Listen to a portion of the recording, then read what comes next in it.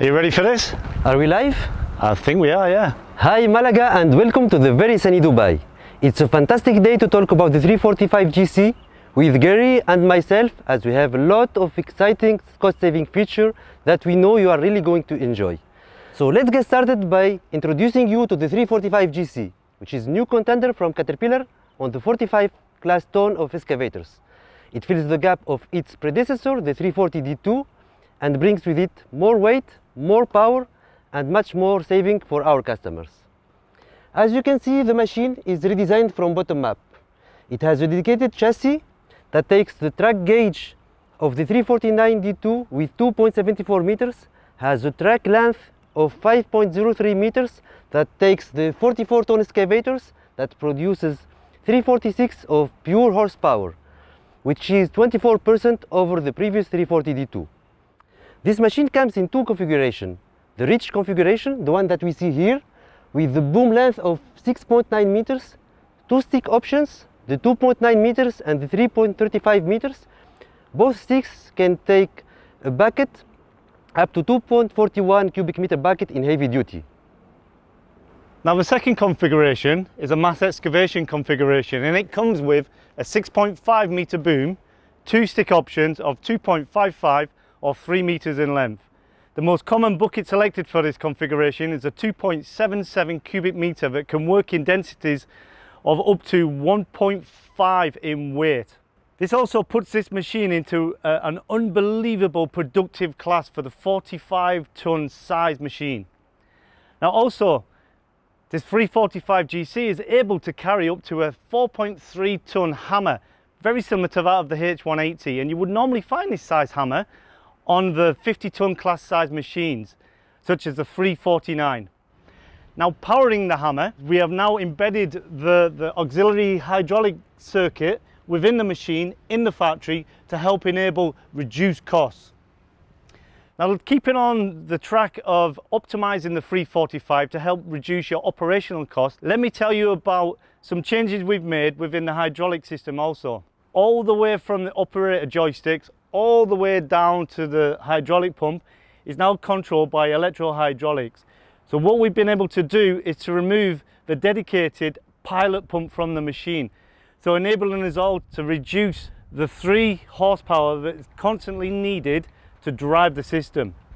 You will find similar electro-hydraulics across all of our range of new Caterpillar excavators from 20 ton to 95 ton, helping you reduce your operational costs.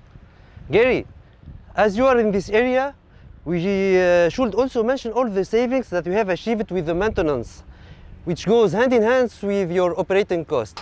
With the removal of the hydraulic pilot filters and also all the hydraulic hoses from the joystick to the control valve to the pump, don't forgetting also the reduction by 22 liters of hydraulic oil needed to run the system, we are bringing the operational running cost significantly down at each interval.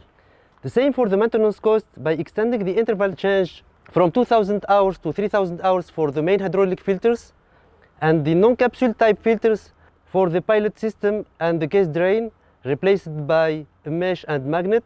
So basically we are going from 15 filters every 6000 hours to only two. In addition to that, the high fuel efficiency filters that brings the interval change from 500 hours up to 1000 hours. The same for the engine oil filters. All this to give you a number, so bring your maintenance cost to 20 to 25% down compared to the 340D2, plus more uptime because we have less maintenance. Yusuf, I really like what I'm hearing here. And did you know that the 345 GC is also equipped with the new Caterpillar C 9.3B fuel efficient engine and that puts this machine into one of the most fuel efficient excavators within the 45 ton class. Now if you follow me around this side, keeping that engine running at its optimal temperature is also the, the new on-demand hydraulic fan. Now the new hydraulic on-demand fan also has the option for an auto reverse to allow you to blow the debris out of the, the cores of the radiator. If you go back to its predecessor, the 340D2, you will find that the cooling system is run by belts and pulleys that are connected to the engine. The slower the engine runs, the less cooling capability you have with the machine. Also, the previous system on the 340D2, it drew a lot of power from the engine to, just for cooling. By removing that, it's also added to the fuel efficiency that we've been able to increase with the 345 GC compared to the 340D2 by 18%. Also, as you walk around this machine, you may have noticed some areas where we've increased handrails and grab rails and we've got a lot more of them. But also what we've increased here, we've increased the capability to do the daily maintenance from the ground level. And this eliminates the operator climbing on and off the machine, reducing risk and increasing safety. Talking about maintenance, Gary, we need to show them the new air filter so on all next-gen X excavators. Now, the pre-cleaner so is integrated on the filters. We have the small turbines that eject 90% of the large particles, but also we have double the size of the dirt holding capacity. So we improved the life by a minimum 15% compared to the old generation of filters.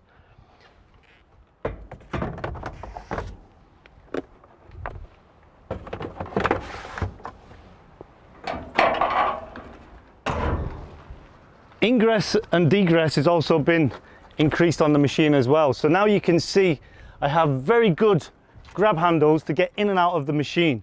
So at all points of time when I'm climbing on the machine, I have three points of contact to eliminate a fall. Now I've been operating machines for over 30 years and I've seen many different series of the Caterpillar excavators during that time. And I've got to say that this one I don't mind sitting in for 12 hours a day. Now let me just explain to you that the visibility here around this door area has been increased by 9% and forward through the window has been increased by 6% and that's because of a new ROPS design that comes standard from the factory um, with no additional costs. So let me bring you into the machine. So first of all, I no longer have a key to start this machine. I simply turn the dial here, the display lights up and I simply engage a, a four digit security code into the machine. Once the display starts up, first thing I see is the rear view camera. So I have visibility behind me to see if anybody is there or if a car is parked there, increasing safety around the machine at all times. Now the machine is started with a simple push button. So some things I want to explain to you around this machine. So first of all, I have a, a panel of, of different options here located very close to my hand. And with these, just one push of the button, I can, I can turn my LED working lights on and off. I can change the speed of the tracking system, engage my wipers, wash the windows, etc. Also in the display, I'm also able to do very similar functions as well.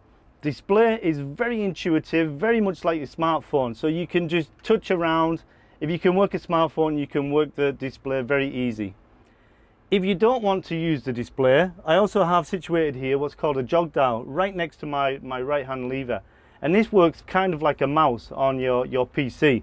So I can use it, I can push it around and the little arrow will go around on the display and I can select what I want. Once I'm in the display, one of my favorite things in here is the Bluetooth capability of this machine. So I can pair my phone to the, the machine. So not only allowing me to listen to my music that I selected, but also it has a hands-free system in there. So if there's a problem further down in the field and the supervisor rings to tell me to stop loading, I can answer the phone by the simple push of a button. So no longer needing to try and multitask or increase in safety.